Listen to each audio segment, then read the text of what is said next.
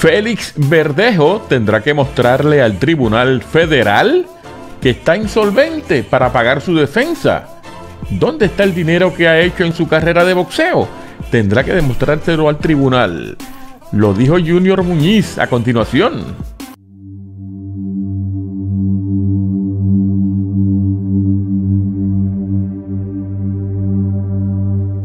El encarcelado boxeador puertorriqueño Félix Verdejo, acusado presuntamente de planificar, orquestar y ejecutar la muerte de Keishla Marlene Rodríguez, con quien se presume que mantenía una relación extramarital, reclamó a finales de la semana pasada ante el juez Pedro Delgado del Tribunal Federal Distrito de Puerto Rico que no cuenta con los recursos económicos para costear su defensa su petición, una que la Fiscalía Federal podría objetar en o antes del 21 de mayo, pretende que la Corte le asigne asistencia para pagar su defensa.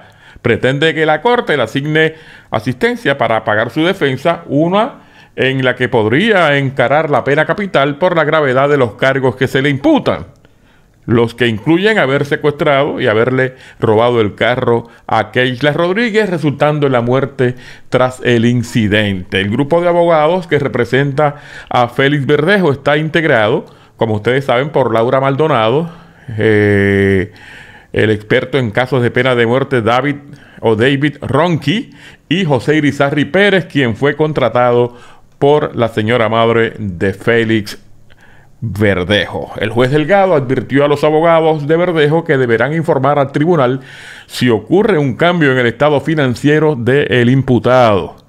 El comienzo del juicio contra Verdejo en el tribunal podría tardar varios años, lo que encarecería los costos.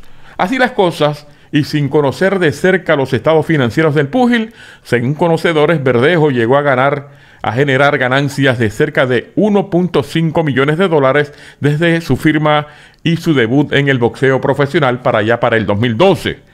No todo ese dinero, sin embargo, fue a parar a sus cuentas de banco porque al menos en el 2019 el 40% de esa cifra estaba contractualmente comprometida con Ricky Márquez, quien fuera entrenador y manejador del peleador desde su debut hasta hace dos años el peleador radicó una demanda en el que el tribunal de primera instancia en Carolina con la intención de anular el contrato. Cuando ocurre todo esto que le ocurre a Félix, estaban precisamente en esa, en esa situación en los tribunales. Así que, sumando y restando, Verdejo posiblemente cobró entre 800 a 900 mil dólares de la totalidad de las bolsas y de la bonificación por firmar. Sobre ello debe haber eh, eh, pagado responsabilidad fiscal en y fuera de Puerto Rico, estimando esa cantidad durante el periodo en que estuvo activo antes del pleito que está enfrentando ahora. Verdejo pudo haber manejado ganancias promedio por un año de unos 100 mil dólares. ¿Tienes o no tienes dinero para pagar tu defensa?